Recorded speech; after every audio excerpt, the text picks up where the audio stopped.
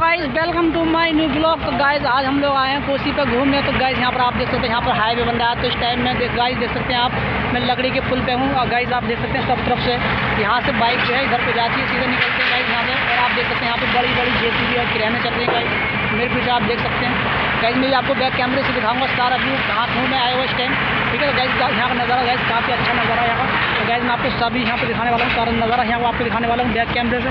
ठीक है तो अभी मैं इस लकड़ी के पुल पर सर पार चलता हूँ। गाइस मुझे यहाँ पर डर लग रहा है। देखो गाइस यहाँ पर तो गाइस यहाँ पर आप देख सकते हैं, यहाँ पर जो है हाईवे बन रहा है। इधर से देखो गाइस वहाँ पर आप देख सकते हैं, वो लकड़ी का पुल है। सामने, ठीक सामने आप देख सकते हैं, थोड़ा जूम कर दिखाता हूँ। गाइस यहाँ पर आप देख सकते हैं, ये लकड़ी का पुल है। यहाँ से जो है बाइक आती है। काफ़ी लंबा जो हाईवे है ये। काफ़ी आगे तक काम चल रहा है। गाइस मैं भी आपको और दिखाऊँगा।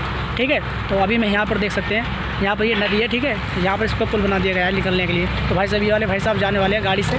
तो इनको डर लग रहा था अकेले जाएँगे गाड़ी से ही और गैस वहाँ पर आप देख सकते हो, मशीन चल रही है। ये रेता निकाल रही है पुल में से। गैस यहाँ पर आप देख सकते हैं कितना बढ़िया नज़ारा है।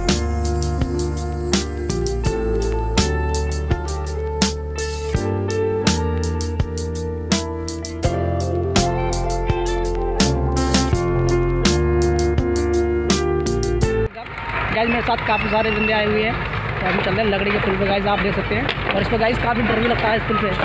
कटलों का बना हुआ है, शायद गिर भी जाए, ऐसा भी हो सकता। है तो चलते हैं, हम इसको पार कर लेते हैं।